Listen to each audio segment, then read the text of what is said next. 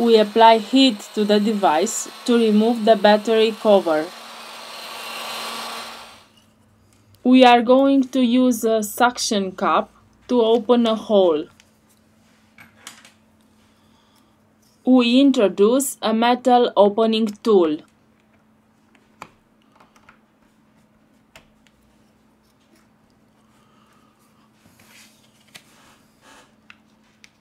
We use a plastic card to cut the adhesive.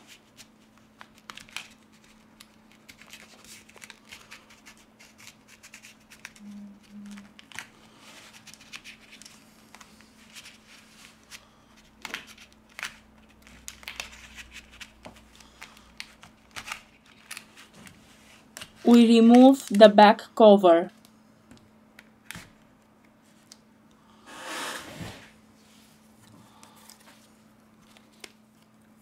To continue with the disassembly process, first of all, we have to remove the battery flex.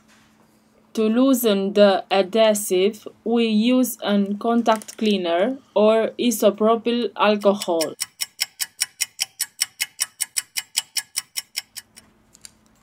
We remove the battery.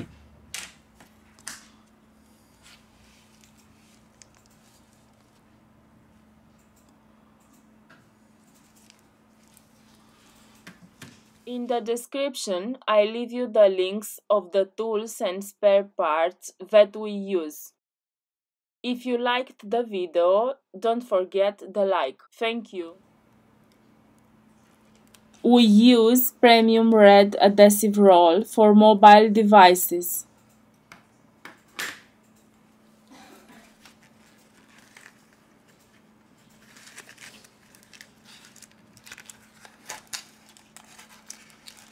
Now we return with the assembly process.